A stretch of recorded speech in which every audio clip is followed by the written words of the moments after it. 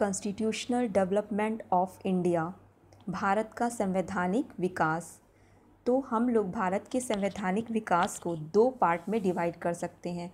एक East India company के under में ब्रिटिश ईस्ट इंडिया कंपनी के अंडर में और दूसरा ब्रिटिश क्राउन के अंडर में। तो इसमें ये है कि देखिए 1858 तक किसका शासन था? ईस्ट इंडिया कंपनी का। उसके बाद किसका हो जाता है? ब्रिटिश क्राउन का शासन हो जाता है। तो जब तक 1858 तक ईस्ट इंडिया कंपनी का शासन रहता है, तब तक ब्रिटेन की पार्लियामेंट अलग अलग एक्ट और अलग अलग चार्टर बना के कंपनी के शासन पर नियंत्रण करती थी। फिर 1858 से जब वो खुद शासन, भारत का शासन अपने हाथों में ले लेती है, तब वो फिर से वही अलग अलग एक्ट और अलग अलग चार्टर बना के बनाती है। तो यही सब चीज़ें जो एक्ट और चार्टर हैं, ये भारत के संविधान के विकास में इनको सम्मिलित किया गया है। तो ये जो चार्ट है, इसमें मैंने जितने भी इंपॉर्टेंट हैं, वो कवर करे हैं और बीच बीच में जो और एक्ट आए होंगे, वो डिस्कस कर दूँगी।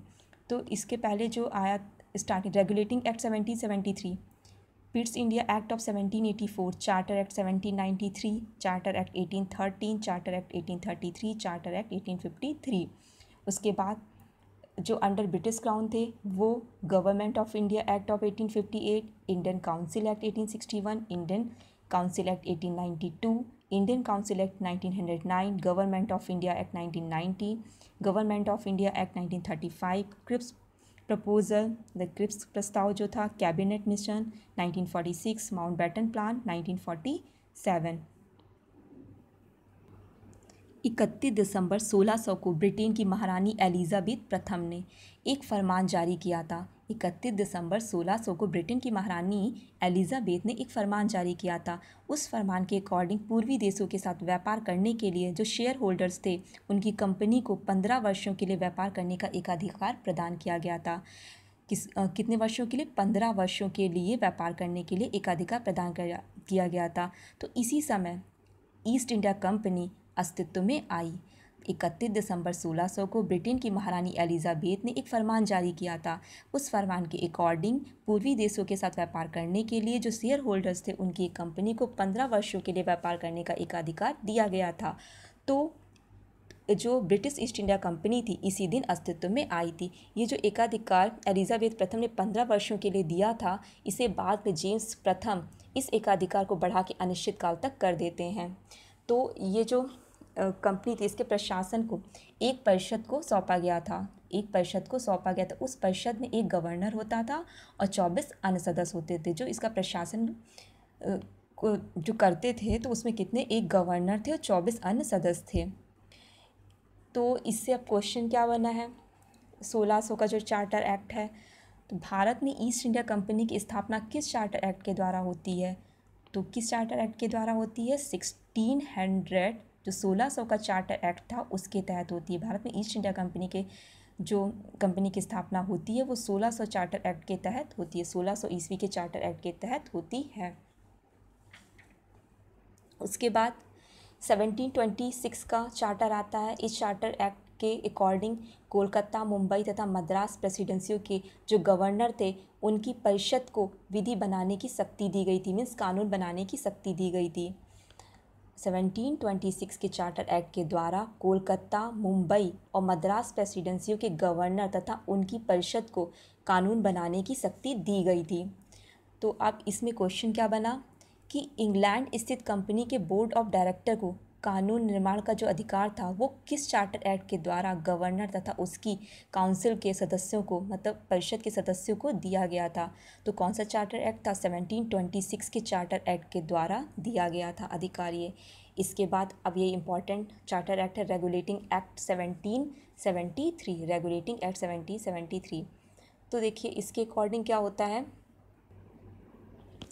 देखिए सेवेंटी सेवेंटी थ्री का रेगुलेटिंग एक्ट में इस समय जो था क्या सेवेंटी सेवेंटी थ्री के करीब जो ब्रिटेन के प्रधानमंत्री थे, वो लॉर्ड नॉर्थ थे।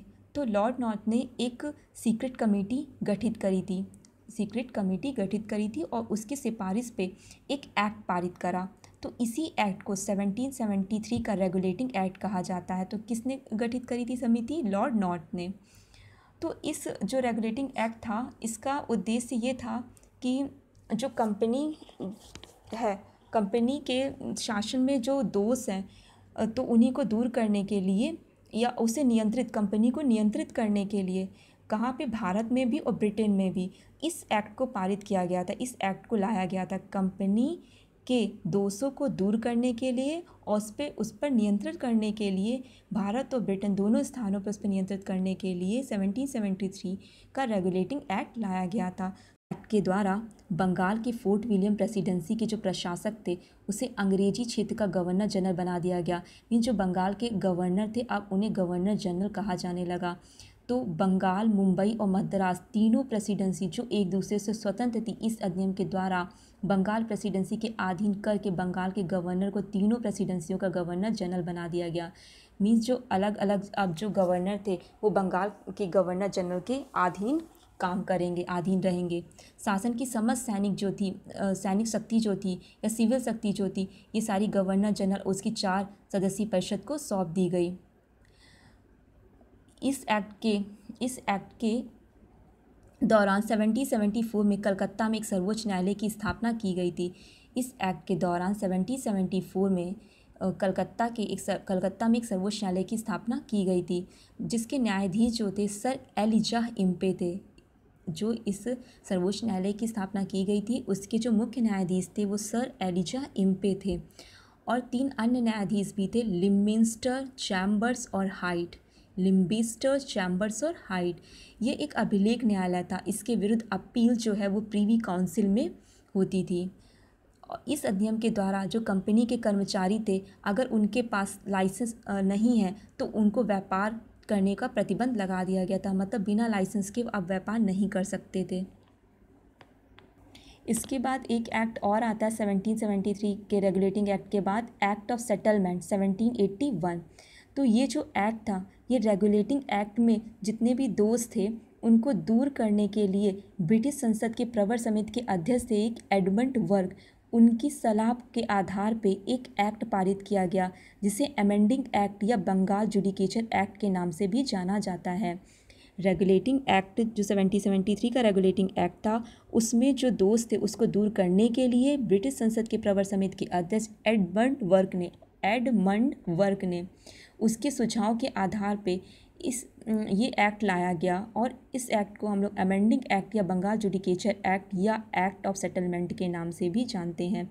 इस एक्ट के द्वारा कलकत्ता की सरकार को बंगाल, बिहार उड़ीसा के लिए कानून बनाने का अधिकार प्रदान किया गया। तो इस तरह कलकत्ता की सरकार को कानून बनाने के दो सोर्स हो गए। कौन कौन से? एक सेवनटीन सेवेंटी थ्री का जो रेगुलेटिंग एक्ट था वो और एक्ट ऑफ़ सेटलमेंट इस एक्ट के द्वारा जो गवर्नर जनरल की परिषद थी, उसे सर्वोच्च न्यायालय की अधिकारिता से मुक्त कर दिया गया। मीन्स अगर ये जो परिषद है, ये कोई कानून बनाती है तो उसे सर्वोच्च न्यायालय के पास अप्रूवल कराने की कोई ज़रूरत नहीं, वो अपना कानून खुद बना सकती है।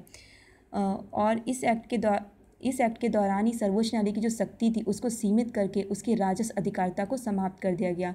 सर्वोच्च न्यायालय की शक्ति को सीमित कर दिया गया और उसकी राजस्व अधिकारिता को समाप्त कर दिया गया, तथा राजस्व मंडलों की भी स्थापना करी गई।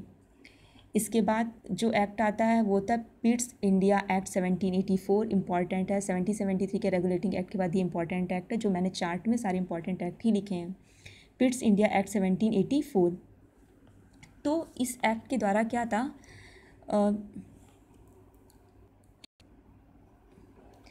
कंपनी के मामलों में ब्रिटिश सरकार का जो पहली बार नियंत्रण स्थापित हुआ था, वो 1784 के पिट्स इंडिया एक्ट के द्वारा ही स्थापित हुआ था। इसलिए हम ये कह सकते हैं कि ये जो एक्ट था, वो कंपनी द्वारा अधिग्रहित भारतीय राज्य क्षेत्रों पर ब्रिटिश क्राउन के स्वामित्व के दावे का पहला वैधानिक दस्तावेज़ था। ये जो अधिनियम था, वो कंपनी द्वारा अधिग्रहित भारतीय राज्य पर ब्रिटिश क्राउन के स्वामित्व के दावे का पहला वैधानिक दस्तावेज़ था, क्योंकि जो कंपनी के मामलों ब्रिटिश सरकार का पहली बार जो नियंत्रण था, वो 1784 के पिट्स इंडिया एक्ट के द्वारा ही स्थापित हुआ था। इस एक्ट के द्वारा इस एक्ट के द्वारा कंपनी के व्यापारिक और राजनीतिक मामलों को अलग अलग कर दिया गया। कोर्ट ऑफ़ डायरेक्टर के हाथों में व्यापारिक मामले दिए गए और बोर्ड ऑफ़ कंट्रोल के हाथों में राजनीतिक मामले दिए गए। राजनीतिक मामले जैसे सैनिक, असैनिक या राजस्व संबंधी। तो ये जो बोर्ड ऑफ़ कंट्रोल थे, इसके छः सदस्य थे। इन कितने सदस्य थे? छः सदस्य थे। इस एक्ट के द्वारा गवर्नर जनरल की परिषद की जो संख्या चार थी, उसे कम करके तीन कर दिया गया था। और प्रांतीय परिषद के सदस्यों की जो संख्या चार थी, उसे भी कम करके तीन कर दिया गया था। और इन्हीं सदस्यों में से एक को प्रांत का सेनापति भी बनाया जाता था। प्रांतीय परिषद के सदस्यों की संख्या जो थी, वो चार से तीन कर दी गई थी और इन्हीं सदस्यों में से एक प्रांत का सेनापति भी बनाया जाता था।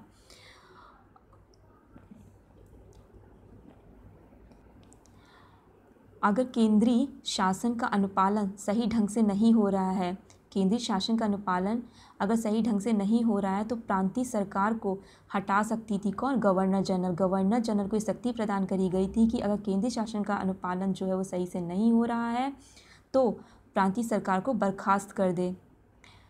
इस एक्ट के द्वारा कंपनी के कर्मचारियों को उपहार लेने पे प्रतिबंध लगा दिया गया था। कंपनी के कर्मचारियों को उपहार लेने पे प्रतिबंध लगा दिया गया। तो इस एक्ट के द्वारा क्या क्या हुआ था? गवर्नर जनरल की परिषद की संख्या चार से कम करके तीन कर दी गई थी। प्रांतीय परिषद की सदस्य संख्या चार से कम करके तीन कर दी गई थी। और अगर केंद्रीय शासन का अनुपालन सही ढंग से नहीं हो रहा है तो गवर्नर जनरल प्रांतीय सरकार को बर्खास्त या हटा सकता था। इस एक्ट के द्वारा कंपनी के कर्मचारियों को उपहार लेने का प्रतिबंध भी लगा दिया गया था। इसके बाद 1786 का एक्ट आता है। इस इस एक्ट के द्वारा गवर्नर जनरल को अगर कोई स्पेशल कोई भी कंडीशन होती है तो उसमें अपने परिषद के निर्णय को निरस्त कर सकता था, हटा सकता था और अपने निर्णय को लागू कर सकता था। मींस इस एक्ट के ज़रिए वो अपनी परिषद के निर्णय को मानने के लिए बाध्य नहीं था। वो अपने निर्णय को लागू कर सकता था और साथ ही गवर्नर जनरल को प्रधान सेनापति की शक्ति भी प्रदान करी गई थी। 1786 के एक्ट में गवर्नर जनरल को प्रधान सेनापति की शक्ति भी प्रदान की गई थी। तो सबसे पहली बार जिस गवर्नर जनरल को अधिकार प्रदान किया गया था, वो थे लॉर्ड कॉर्नवलिस। कौन थे? Lord Cornwallis. इसके बाद 1793 का चार्टर एक्ट आता है। इस एक्ट के माध्यम से कंपनी के अधिकारों को 20 वर्ष के लिए बढ़ा दिया गया था। कंपनी के अधिकारों को 20 वर्ष के लिए बढ़ा दिया गया था और बोर्ड ऑफ़ कंट्रोल के सदस्यों को भारतीय राजस्व वेतन देने की व्यवस्था की गई थी। दोनों, ये दोनों इंपॉर्टेंट है। इसके अधिकार को 20 वर्षों के लिए बढ़ाया गया था कंपनी के और नियंत्रक जो बोर्ड ऑफ़ कंट्रोल के सदस्यों को भारतीय राजस्व वेतन देने की बात कही गई थी। अब इनसे क्या क्या क्वेश्चन बने? किस एक्ट के द्वारा गवर्नर जनरल के सदस्यों की संख्या चार से तीन कर दी गई थी? तो 1784 के पिट्स इंडिया एक्ट के द्वारा, जो नियंत्रक मंडल था, उसके सदस्यों को भारतीय राजस्व वेतन देने का प्रावधान किस एक्ट के द्वारा किया गया था? तो किस एक्ट के द्वारा किया गया था? 1793 के 1793 का जो चार्टर था तो उसके द्वारा किया गया था। क्या किया गया था? नियंत्रण मंडल के सदस्यों को भारतीय राजस्व वेतन देने की बात की गई थी। किस एक्ट के द्वारा गवर्नर जनरल को अपनी परिषद के निर्णयों को अस्वीकृत करने की शक्ति दे दी गई थी? वो खुद कानून बना सकता उसे कोई सलाह लेने की ज़रूरत उसके लिए बाध्य नहीं था। किसके लिए बाध्य नहीं था? कि वो अपनी परिषद के निर्णय को माने। तो ये था charter act 1793 Pitt's India act के तहत बोर्ड ऑफ़ कंट्रोल का अध्यक्ष कौन होता था? तो ब्रिटिश मंत्रिमंडल का एक सदस्य होता था। फिट्स इंडिया एक्ट के तहत बोर्ड ऑफ़ कंट्रोल का अध्यक्ष जो होता था, वो ब्रिटिश मंत्रिमंडल का एक सदस्य होता था। कंपनी के मामलों में ब्रिटिश सरकार का पहली बार नियंत्रण कब स्थापित हुआ था? कब स्थापित था? सेवनटीन में फिट्स इंडिया एक्ट के तहत। कंपनी के कर्मचारियों को उपहार लेने पर प्रतिबंध किस एक्ट के दौरान लगाया गया था? किस एक्ट के तहत लगाया गया था? तो 1784 के तहत कंपनी के जो कर्मचारी थे उस, उनको उपहार लेने पर प्रतिबंध लगा दिया गया था किस अधिनियम के द्वारा कंपनी के व्यापारिक और राजनीतिक कार्य एक दूसरे से अलग कर दिए गए थे। तो पीट्स इंडिया एक्ट 1784 के द्वारा क्या क्या अलग है? कोर्ट ऑफ़ डायरेक्टर के हाथों में व्यापारिक मामले और बोर्ड ऑफ़ कंट्रोल के हाथों में राजनीतिक मामले दिए गए थे। वो सबसे पहले वो कौन सा गवर्नर जनरल था जिस और किस अधिनियम के द्वारा इस गवर्नर जनरल और मुख्य सेनापति दोनों की शक्ति प्रदान की गई थी?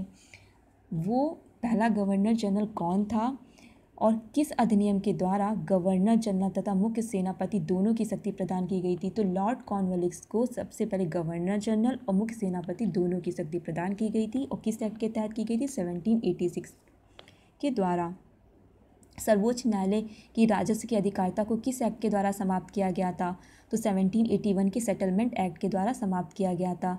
और किस एक्ट के द्वारा सर्वोच्च न्यायालय की अधिकारिता से जो गवर्नर की, गवर्नर और जनरल की जो परिषद थी, उसके काउंसिल से मुक्त कर दिया गया था?